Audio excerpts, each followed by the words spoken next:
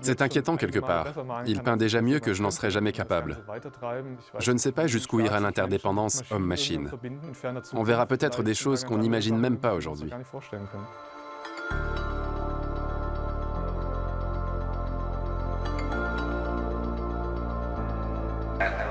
Moi, je suis plutôt optimiste.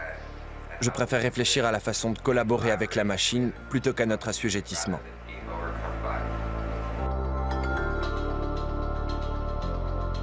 Les informaticiens ont souvent déclaré impossible des choses qu'on a vues se réaliser ensuite. Et si les machines se mettaient à créer pendant que l'artiste se tourne les pouces?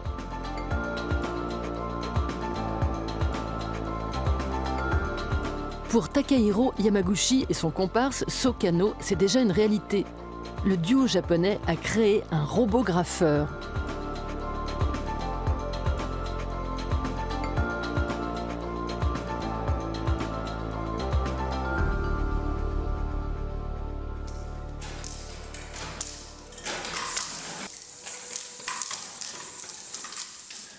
Avec ce délinquant automatisé, baptisé Senseless Drawing Bot, l'absurde robot dessinateur, Yamaguchi renverse les lois de l'art contemporain.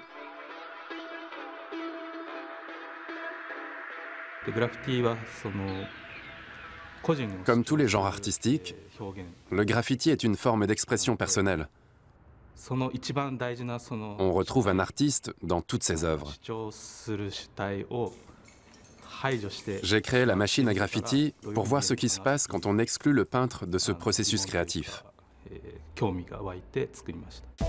De l'art sans artiste. Au Japon, le duo fait scandale et attire les foules.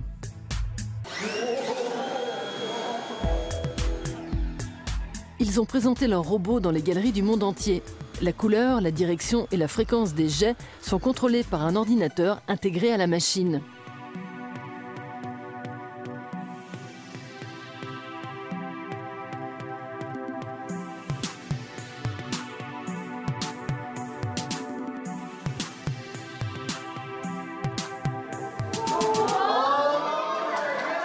Le résultat rappelle un peu un terrain de paintball.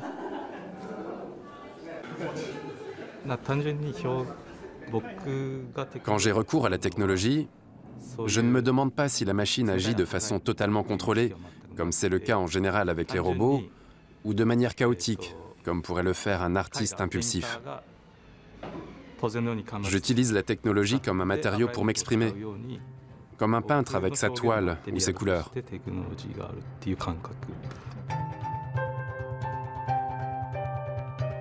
La technologie comme moyen d'expression. Harvey Moon s'inscrit dans la même logique. Chacun de ses projets commence par une phase de programmation.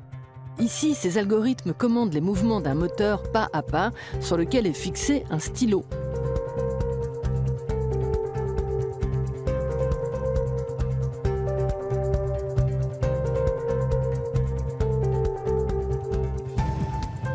Un effet de filigrane difficile à réaliser à la main.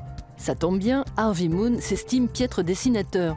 Ces machines facilitent sa démarche artistique, mais ne se réduisent pas à de simples exécutants. Dans leur circuit, elles ont développé leur propre fibre créatrice.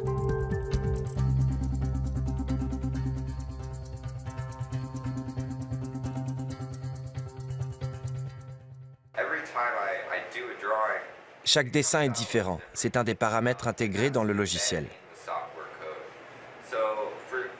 Quand je choisis une image, la machine n'en produit pas une copie, mais sa propre interprétation.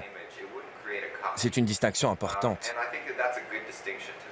Ce n'est pas une imprimante, mais un appareil qui produit une interprétation artistique d'un objet donné. Dans son installation Bugs Draw for Me, des insectes dessinent pour moi, Harvey Moon pousse son raisonnement encore plus loin. Une caméra filme les mouvements d'un grillon et les transmet à la machine qui les transforme en dessins. Mais ici, qui est le créateur? L'homme La machine Ou le grillon?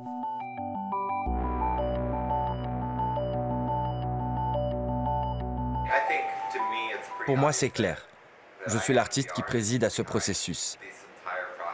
L'homme peut voir les objets de multiples façons, une machine en est incapable. En fait, Mon travail consiste à exploiter ce qui fait notre supériorité sur la machine plutôt que nos faiblesses par rapport à elle. Cette supériorité est remise en question à l'Université de Constance. Avec ses étudiants en informatique, Oliver Duyson a mis au point un ordinateur peintre intelligent baptisé e-David qui travaille à l'acrylique avec de vrais pinceaux. Pour Trax, il a même fait le portrait d'une vieille connaissance.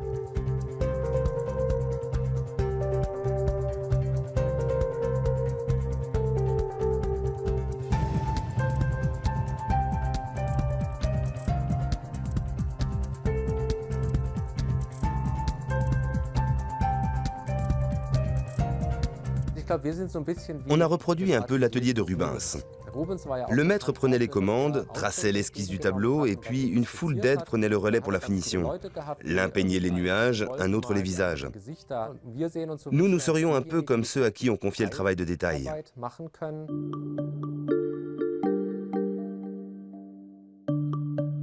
Le résultat des toiles un peu impressionnistes qui n'en sont pas moins impressionnantes. Certes, E. David a besoin d'un modèle, mais quand il peint, il se comporte comme un artiste devant une nature morte ou un paysage. Tous les 600 coups de pinceau, un appareil prend une photographie de l'œuvre en cours. Le robot compare l'image à l'original et peut ensuite rectifier et poursuivre son travail.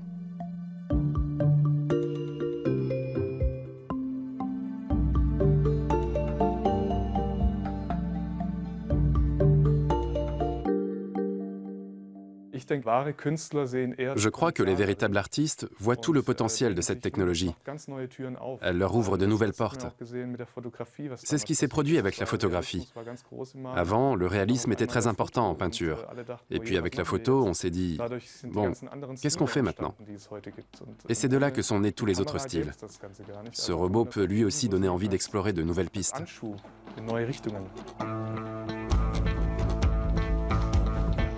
Amis artistes, on dirait qu'il va falloir se remettre au mat.